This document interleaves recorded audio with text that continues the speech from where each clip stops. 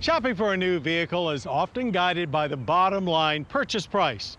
A maintenance and operating costs over the life of your new car, SUV, or truck can vary widely and have a huge impact on the total cost of ownership. And that's one more reason why electric cars make so much sense these days. Compared to conventional gas or diesel powered vehicles, the lower cost to fix or fuel a battery electric vehicle could charge up big savings over the long haul. There are hundreds of parts that make up an internal combustion engine drivetrain that electric vehicle owners will never need to worry about breaking, leaking, or wearing out. Things like the timing belt, exhaust system, spark plugs, fuel injectors, or even transmission fluid. Comparing the recommended maintenance schedules and dealer service quotes for six popular EVs versus six similar gasoline vehicles reveals that EVs could save an average of $263 per year based on avoided maintenance costs. That adds up to more than $3,000 over a 12 year, 150,000 mile ownership period. Not to mention the added value and convenience of having fewer service appointments and less vehicle downtime. The maintenance schedule on EVs are a lot easier than your typical gas vehicle. There's a lot less to do. You typically tire rotations, check and top off any fluids that are still with the EV cars. But other than that, for the first five, six years, it's rotations to make sure everything's sound. Most electric vehicles will require a flush and change of the battery pack's liquid cooling system after 100,000 miles at a cost of around $200. Compare that to over a dozen engine oil and filter changes, radiator flushes, and other avoided routine maintenance required for a car with a gasoline engine. One potentially costly repair item that EV critics point to is the battery pack, especially if it develops a problem out of warranty.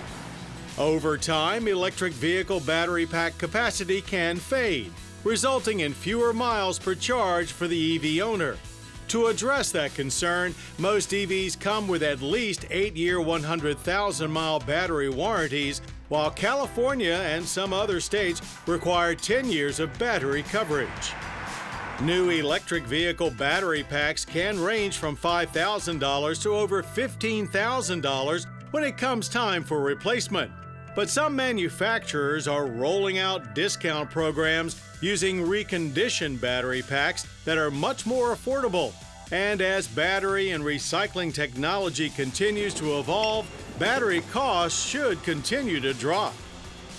Another factor working in favor of EVs is the convenience and value of charging up at home instead of having to make regular trips to the filling station for gasoline or diesel. The cost to drive 100 emission free miles on electricity can be as much as 70% cheaper than burning fossil fuels over the same distance. And by plugging in at home, you can start off with a full charge every day. I love the electric car. I love it. I drive it every day.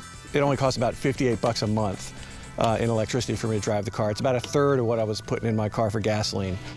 Servicing electric vehicles is still a new procedure for many dealerships, though, so EV drivers should shop around to minimize any growing pains in that area.